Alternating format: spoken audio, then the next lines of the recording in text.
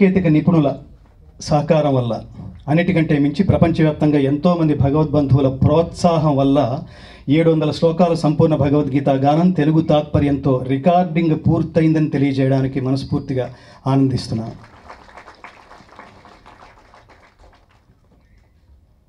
గీతావారధి నిర్మాణ దీనికి సంబంధించిన లఘు చిత్రాన్ని తీర్చిదిద్దిన దర్శకులు శ్రీ మీర్ గారికి ఆయన్ని సూచించిన స్నేహితుడు సరస్వతి చలపతిరాజుకి ప్రత్యేకంగా కృతజ్ఞతలు తెలియజేసుకుంటున్నాను.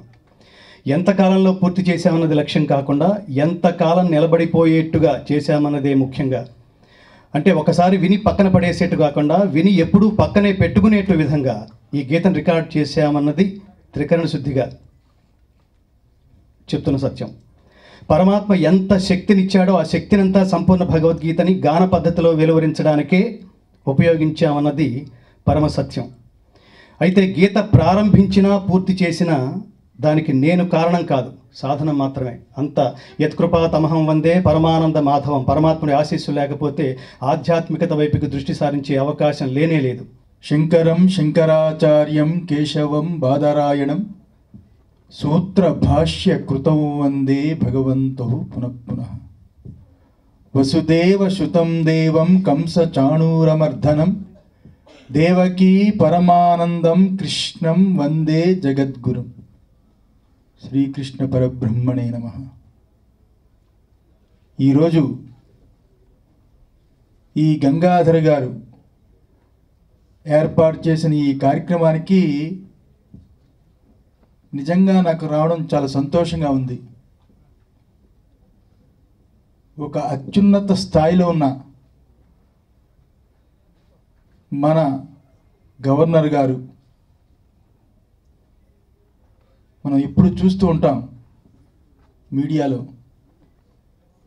అహంకారాన్ని ఎలా భగవంతుడి సన్నిధిలో ఎంత గొప్ప పోస్టులో ఉన్నా ఎంత ఉన్నత స్థానంలో ఉన్నా అహంకారాన్ని వదిలిపెట్టి పరమాత్మ దగ్గర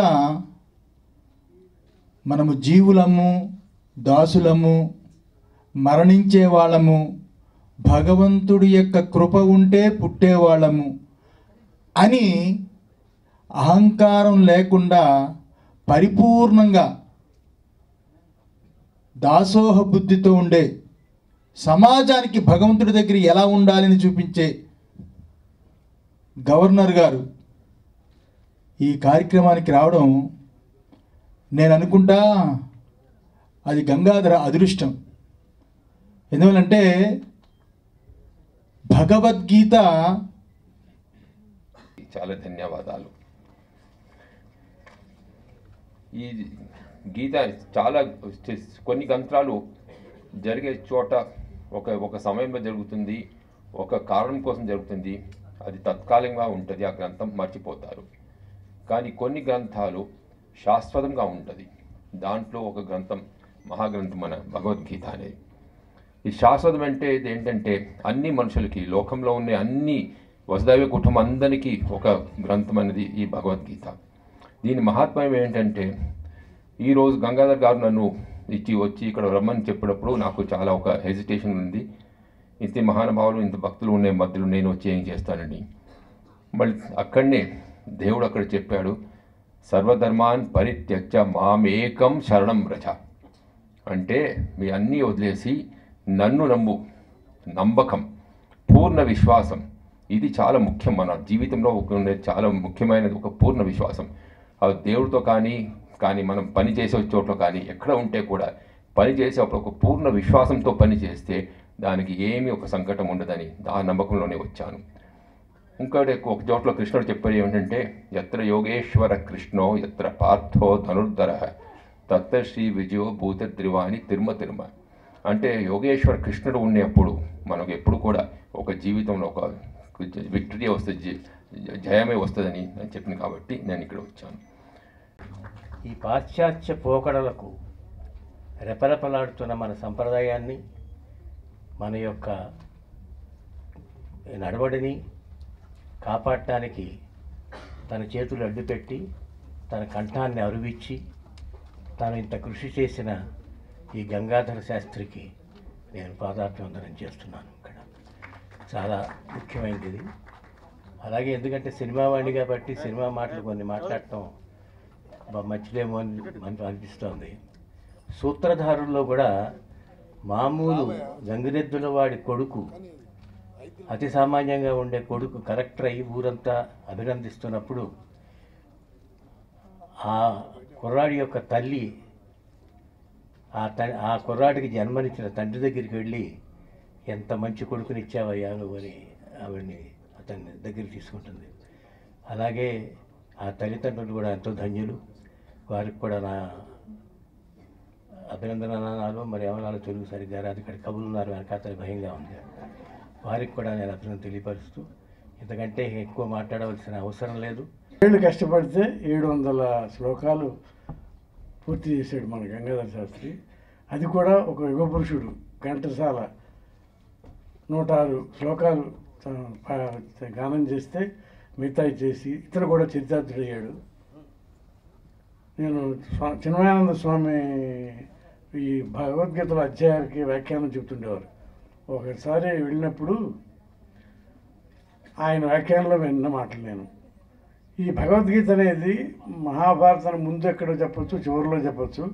కానీ యుద్ధ కాండలు అక్కడ అక్కడే ఎందుకు చెప్పాల్సి వచ్చింది అని అంటే మనిషిలో ఉన్న వంద దుర్గుణాలకి పాండవు కౌరవులు ఇదైతే మనిషిలో ఉన్న ఐదు సద్గుణాలకు పాండవులు.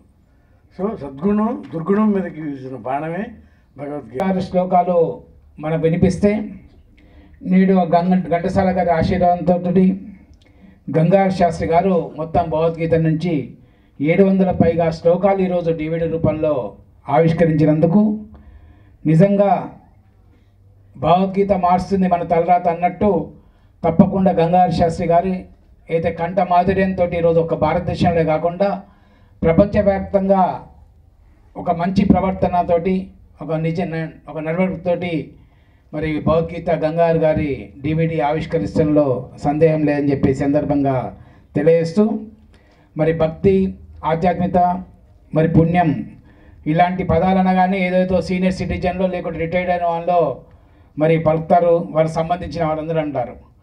ఇందాక చెప్పినట్టు గంగారు గారు వాళ్ళ వాక్యాలు చెప్పారు. భగవద్గీత ఉన్నప్పుడు కృష్ణ భగవానుడు అర్జునుడికి విభూతి ఉంటేనే జరుగుతుంది. భగవద్ అనుగ్రహం లేకుండా ఇది జరిగేది కాదు. అది స్వామే భగవద్గీతలోనే చెప్పాడు. ఎక్కడ ఏ విభూతి ఉండి ఎవరికి ఎవరి మీద ఎవరికి ప్రపంచంలో ఇన్ఫ్లుయెన్స్ చేయాలన్నా నా విభూతి లేకుండా ఎక్కటువంటి కార్యక్రమం జరగదండి. అది కారణ జన్ములు అది ఆయన అనుగ్రహంతో ఇంత మహత్ కార్యాన్ని చేశారు. దాన్ని చెప్తున్నారు. నాకు జ్ఞాపకం రఘునాథాచార్య గారిని అప్పుడు వైస్ ఛాన్సలర్ సాంస్కృతిక ప్రొఫెసర్ ఉండేవారు చాలా పుస్తకాలు తిరుమల తిరుపతి దేవస్థానంలో ఉన్నప్పుడు ఆ ప్రచురించడం జరిగింది. అందులో ఒక పుస్తకం మన భగవద్గీత మన సమస్యలకు భగవద్గీతలో పరిష్కారాలండి. నీకు ఏ ప్రాబ్లం లౌకికంగా ఏ ప్రాబ్లం? మోక్షాన్ని ఇవ్వగలిగిన గ్రంథం. మోక్షాన్ని ఇవ్వగలిగిన గ్రంథం లౌకికంగా ఉన్నది ఏదైనా ఇవ్వగలిగి ఉండాలి. అది లేకపోతే మోక్షాన్ని ఎట్లా ఇవ్వగలుగుతున్నది? అటువంటి మన ప్రతి సమస్యకి ఇందులో సమాధానం ఉందని ఏ శ్లోకంలో ఏ రకంగా ఏ సమస్యకు ఏ సమాధానం? ఏ ఉందో అది చూపించినటువంటి గ్రంథం చిన్న గ్రంథం. అది తోగను. కానీ ఇది నాకు ఒక అదృష్టంగా భావిస్తున్నాను. మంచి అవకాశం ఇది. ముఖ్యంగా గంగాధర్ గారు ఈ కార్యక్రమాన్ని చేపట్టిన మొత్తం కార్యక్రమంలో ఒక ఆఖరి పుటలో ఆఖరి అక్షరంగా నా తాలూకా ఈ రోల్ ఇవ్వడం అనేది నాకు భగవంతుడు ఇచ్చిన ఒక అదృష్టంగా భావిస్తున్నాను. ఎందుకంటే గౌరవనీయులు పివిఆర్కే ప్రసాద్ గారు చెప్పినట్టు ఇది భగవంతుడు అసలు ఆలోచన రావడం ఆ దిశగా నడవడం అనేది మన చేతిలో లేదు. ఆయనే మన ఎంచుకుంటాడు. ఆ ఎంపికలో వీరిని చెయ్యి పట్టి నువ్వు నా కార్యక్రమాన్ని చేపట్టు అని అతన్ని ఒక మీడియంగా ఎంచుకున్నందుకు ఒక ఇన్స్ట్రుమెంట్గా ఎంచుకున్నందుకు వారి కారణ జన్ములు అనేది అనడం నిస్సందేహం. మరి ఈ కార్యక్రమంలో ఎంత విజయవంతంగా ఇంతమంది ఆశీర్వాదంతో ఇలా నడుచుకొని వెళ్తున్నారు అంటే అది నిజంగా వారి తల్లిదండ్రులు చేసుకున్న అదృష్టం ఇటువంటి వారికి జన్మనివ్వడం.